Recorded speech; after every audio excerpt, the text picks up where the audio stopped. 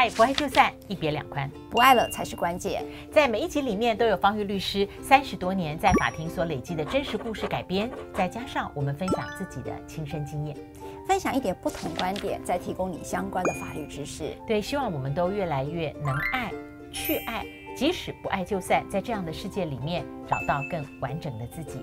不爱就散，每周二四晚间八点首播，欢迎大家订阅、按赞、开启小铃铛。对，而且每个星期也同步更新在各大 podcast 平台，你就搜寻“不爱就散”，让我们的声音来陪伴你。Hello，欢迎收看《不爱就散》。早上好，我是方玉。好，今天是家庭主妇篇啊，真的吗？因为今天方玉律师你带给我们这个案好特别，就是。我真的受不了，你什么都要留，什么都要囤积，对不对？对，就干脆不要一起住好了。对，好，我先开始讲这个小小的故事啦，因为我们今天也带来了我们自己的故事哈。就是说有一对夫妻啊，他其实是家境非常好的，是一个中上的哦的一个家庭。那其实屋子也够大了哈，屋子够大，但是他太太呢就有一个状况，就是囤积症。囤积症他是怎么囤呢？他就是。呃，除了自己的东西囤之外啊，自己的东西旧的东西他都不丢，他全部都把它放着。然后呢，他可能到外面去，他的朋友不要的东西，他也觉得你这样丢掉好可惜，你也都拿回来。哎，那真的是囤积症。他是囤积，他是看不得人家丢，自己不丢了，还看不得人家丢。那他家里小孩的，他先生的，他也全部都囤。那家里呢，我记得五六十平大，已经算大的喽，哈。可是呢，他走路呢，就是要这样子闪来闪，没有动线，哎，没有动线。然后呢，只要跟太太讲说这个丢，他就会跟你翻脸。好，只要你说这个我们不要用，好不好？或者是有时候他们想说，那我偷偷把它丢了吧。他其实他太太都知道，所以他们常常为这种事情吵架。那她老公就非常痛苦，那非常痛苦。那要离婚吗？他也舍不得，因为说实在是。呃，他们也是老夫老妻，他就是这个毛病，他其实呃，真的就是一个全心照顾呃家家里人的一个太太，那他就是有这一点毛病。后来她老公就觉得说这样不是办法，他还租了一个空间，也让他。他老婆继续囤放东西，所以呢，永远没有离，就是你知道老夫老妻，你就知道东西多少了哈。因为几十年下来，东西大概会囤囤到两个屋子。那囤了两个屋子的时候，还是没有办法改善这件事。那你就说啊，他是不是做心理咨商就比较好呢？可是他还是不愿意，所以他完全对他妻子无责。那个时候他讲方玉啊怎么办？然后他就是跟我说，他老婆这件事情其实他精神真的很痛苦。好，因为两个人已经没有办法对这件事情有任何的沟通。那其实，在这样的一个关系下面，他觉得他已经无力可施了。就是他一定会那个那个空间，他回家一定不放松、不舒服嘛。他不放松之外，有一个东西就是感情没有办法流动。你这很奇怪空间空间的事情，挚爱对空间造成的挚爱，真的哦，他可能是空间啊。他发现他跟他老婆没有话聊，嗯，好，然后他。他完全的，呃，他们的关系里面就好像那些囤积物一样，全部都被冻结在那个状态下，是没有动线的，就是感情上也没有动线。嗯所以他就说：“方宇，我真的太痛苦了。”那我说：“那这种情形下可不可以离婚呢？”我就开始分析了这些事情。但是他说：“可是如果我离婚了，他呢应该没办法活了。”嗯，他就觉得说他这个太太完全是依赖着他活。况且他说：“说实在的。”他觉得夫妻的情谊都在，所以他也不想要离婚。那因此，他就在自己的心理师的建议下面，他有自己的小空间，也就是说，他另外租了一个呃套房。嗯。然后呢，就来来去去，至少他有一个自己的空间，因为他家里塞满了都是他老婆的空间，他自己没有空间，因此他就去租了一个小套房，变成他的空间。这是我唯一可以帮他做的，也就是在法律上也好，或者从我我自己在做的家庭的工作也好，我觉得似乎对他是一个很好的一个喘息。那这件事情就是要讲，我们今天老师，你是不是也会囤积？哎呦，我这样讲说，你刚刚讲了一个非常传神，就是如果。会囤很多东西的人，然后你在那边跟他看看看，说我觉得这个可以丢了。我跟你讲，他不会回应你，他通常都直接生气。对，为什么？你不要碰啦！啊，你不知道，我那个是还有用的。对，就是，但是那已经脱离一般人能用的范围。嗯，囤积啊！哎，等一下，老师你说好，你要碰我，像我要把它丢掉，他的第一个情绪就是愤怒，对不对？通常，你觉得为什么？其实我觉得他自己也想处理，他觉得好像被看到了他一直永远无法处理的一个生活加生命问题。好，因为我觉得会囤的人，哎，我就孤影其名啦，不是跟我一起生活。我觉得会囤的人，他生活生命里面很多很多事情，他都积累，他也不清理哦。好，所以我会有老师，我起起鸡皮疙瘩，就是会囤积 没有真的我起鸡皮疙瘩，因为那个囤积就是说。当你囤积了很多旧有的东西的时候，某个程度，你对于内在的东西，你也是用囤积的方式，你不去碰，你就把它囤在那里。还有一个就是关系也会囤积，它的断舍离困难，嗯，它在关系里头也会囤积。这个也就是为什么我刚刚讲那对老夫老妻是无法分手的原因，因为那个东西是囤积在那里的，是解决不了的东西都囤在那里。对，所以碰了那个东西，它会意味着我正在有一件事情是被被揭露。嗯嗯嗯，对对对对。但是我没有囤啦，为了你没有？囤吗？我跟你讲，我只有一个东西，害我想起来，就是我每一次呢看到我就留，看到了就留，哎，只有这个东西。我的衣橱已经清过很多遍了，OK。但是呢，我每次都会留着这一包。然后这次我说我们两个都要带来，对哦然后我就打开，哦，又丢了一些。这个主妇时间是什么呢？哎，这看起来很像衣物，不是 manga，，就是各种各样的袋子啦。manga，，你觉得我会加什么？说一就是我觉得看起来很像，很像那个，很像是内衣在里面，是不是？各种各样的，尤其是这个某某某品的这个袋子，它只要一出我就买，因为我觉得哦，这个袋子，哦，哎真的好我出去我可以挂着，啊，我去泡温泉的时候我可以放着，哎真的然后我有无数这个袋子，我有些我都不好意思带来了，哦，好啊，这个袋子不错哦，我出去玩的时候可以放 underwear，好，然后哎，这个绿色啊不错，以前买那个红色太红了。哦，我刚才看这是什么？妈呀，骊山宾馆，这我不知道哪一年去的，疫情前啊，这只是我的大概三分之一啦，好或四分之一，反正我有无数个这种袋子。但是我出国的时候，我二零一九年疫情前，我光是工作出差出国那一年有五趟，五点五趟啊，所以我大概不到两个月出国一次。我这些袋子没有一个在用，我都是用链带夹，链带夹夹起来，清清楚楚在行李箱。我也不晓得，就是说，这是我唯一就是看了就留，然后留了就不丢的。所以多亏今天要带，我这里面我后来来以前又丢掉了一半。也丢了一对我刚刚看那个骊山宾馆是说我留那个干嘛哈、而且没有用哦。我也还想说，哎，这个我可以放袜子啊。我现在根本就我没有在穿丝袜，我也除非冬天，我也很少在穿短袜。对我丝袜也会囤。对，但是当我在囤的时候，我就会替他想出各种各样的用途。哎，这个我是我也会囤这，包等等录完也把它丢掉好了。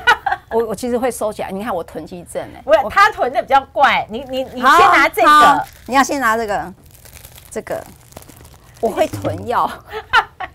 哎，我不知道你们会吗？就是譬如说你法感冒，官不要看，这样子以后我觉得上法庭那个公信的形象会有损。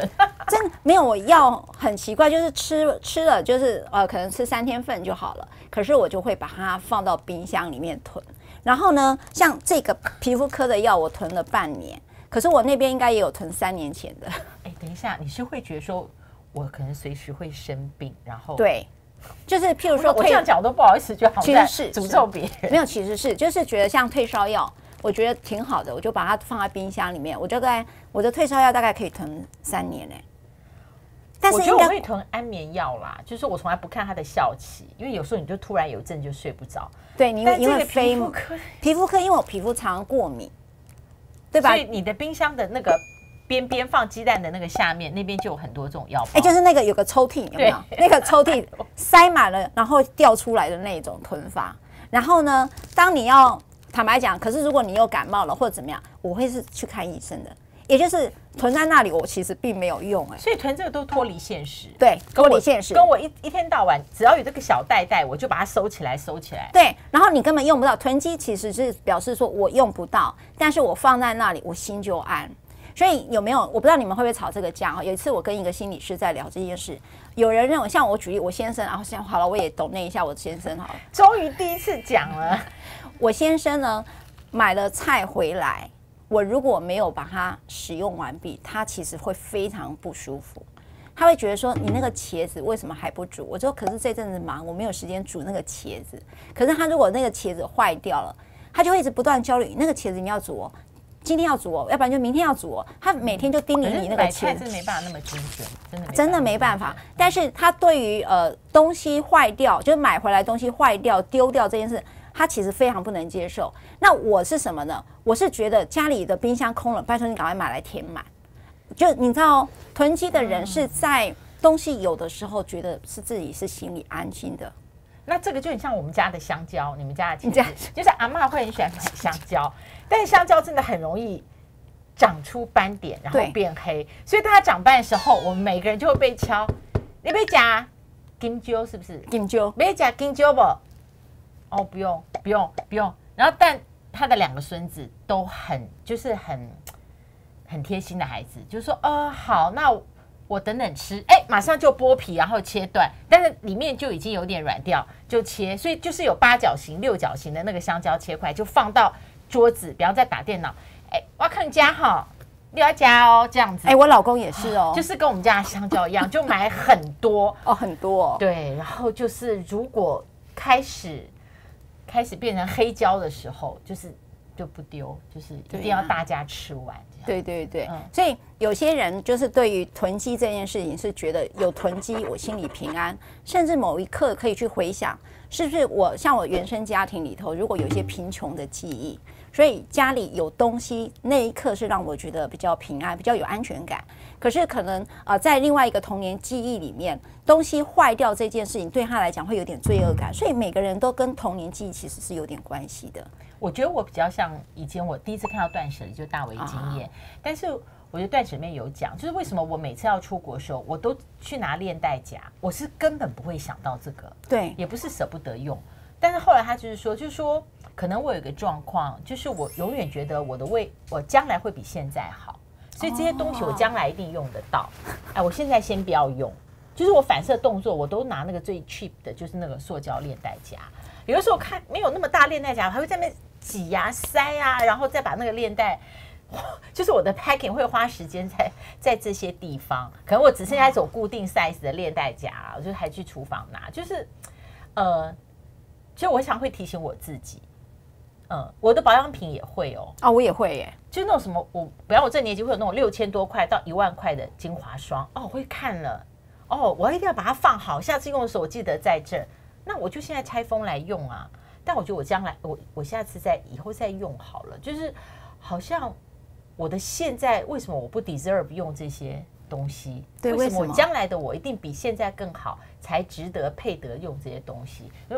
没有答案，但是就是说要提醒自己啦。哎，这是真的，我也常带那么多，我至少只带这一包，好不好？我现在只剩下这个，但我认为这个不是囤积，这个这个不是，这是叫纪念品啦，就是小朋友的呃以前的作文呐，好，我就会把它留下来。然后呢，小朋友的这个做小时候呃小时候做的这个陶瓷，我床头也有一个，对。然后还有他的 不一样，还有小袜子，他小时候的袜子我也会囤，这个都是让我有。一个是安全感，要是安全感，这是我的幸福感。所以我觉得囤积某一种某种状态，都还是跟你某个心理状态是有关的。所以每位朋友，你们倒不妨去想一想，这个囤积，也就是说做一个没有意识、乍看没有意识的行为，就像老师的这个夹链带，好像你根本没有在用，但这种没有意识的行为，对你的生命的那一刻到底指是什么？我觉得大家倒是可以想一想，对不对？好，在法律上提一下哦，休婚。刚才你有听到我在讲这对老夫老妻，他其实并没有选择离婚。那这个老公呢，他就选择再去租一个小套房来住，这个就是叫休婚哈，也就是在日本称之为休婚，就是说，哎，他就在婚姻关系中休假请个假吧，也就是说你七休一也可以吧，哈，或者是呃有有暑假也可以吧，哈，就寒暑假你也可以放一下。那在日本他们有个叫做休婚这个说法，就是彼此的角色暂时的中断，不是完全的分居。所以以前我们。在好几集就在谈分居是不是喘息的方法，但是你也可以考虑一种叫休婚啊，就是角色突然呃角色比较突然哈，就是有偶尔呢就是喘息中断，请个休假哦，也有特休假吧，可以你老夫老妻特休假应该比较长一点，对不对？哈，好，那这种情形下在法律上可不可以呢？只要你双方有共识，就不会构成我们以前常常在呃我们在节目上提到的不履行同居义务哈，因为这个是一个你们双方的共识，那它也可以称之为婚姻契约。那我觉得在老夫老妻，如果你们有遇到大家过不去的坎哈，然后你又不知道该怎么办，然后也不知道分居。好，我上一集、前几集有讲到分居，你可以试着采取像日本的休婚，也许它是一个方法。嗯，我觉得休婚这个方法听起来它不失为一个方法。嗯，是一个心态。好，哎，这囤积真的没有意思。疫情三年，现在也没有要出国，每天看着他也是相看两厌，不爱就散。好。按，开启小铃铛，然后希望介绍朋友来订阅。我很希望九月我们的订阅数能够冲上一万哦！谢谢老师，在这里才看得到方老师的可爱。什么？好，下次再见。好，拜拜。